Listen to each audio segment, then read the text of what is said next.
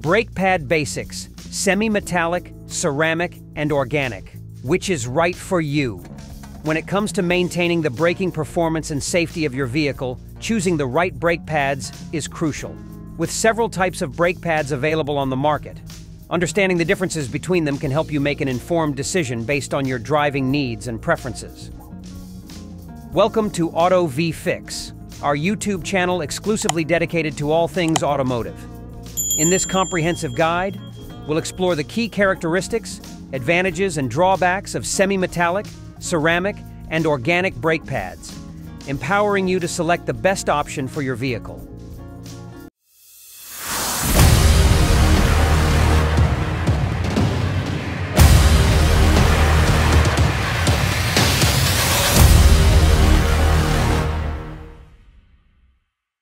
Semi-metallic brake pads.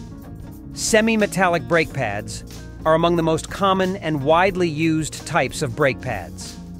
They are composed of a mixture of metals, such as iron, copper, and steel, combined with other materials like graphite and fillers. Here are some key points about semi-metallic brake pads. Advantages. Excellent braking performance, especially in high heat conditions. Long service life and wear resistance. Relatively affordable compared to other pad types.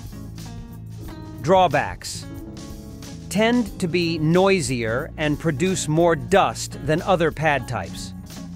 Can be more abrasive, potentially causing faster wear on brake rotors.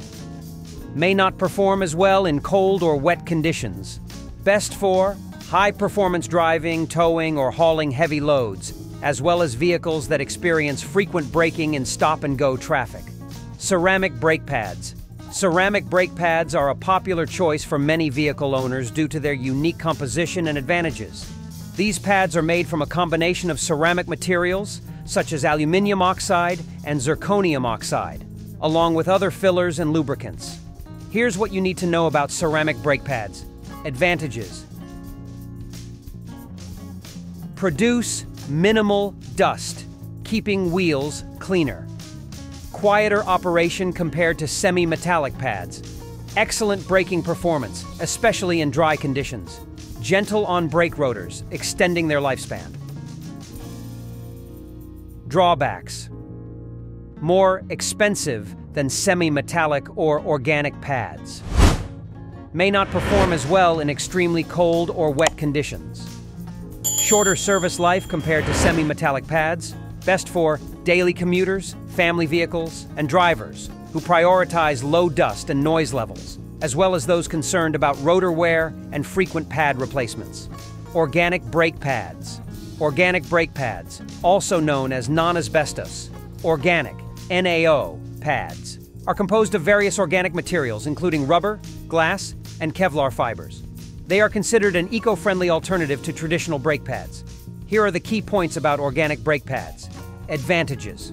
Produce minimal dust and noise. Gentle on brake rotors, extending their lifespan. Environmentally friendly composition. Drawbacks. Shorter service life compared to semi-metallic and ceramic pads. May not perform as well in high heat or heavy braking conditions. Limited braking performance compared to other pad types.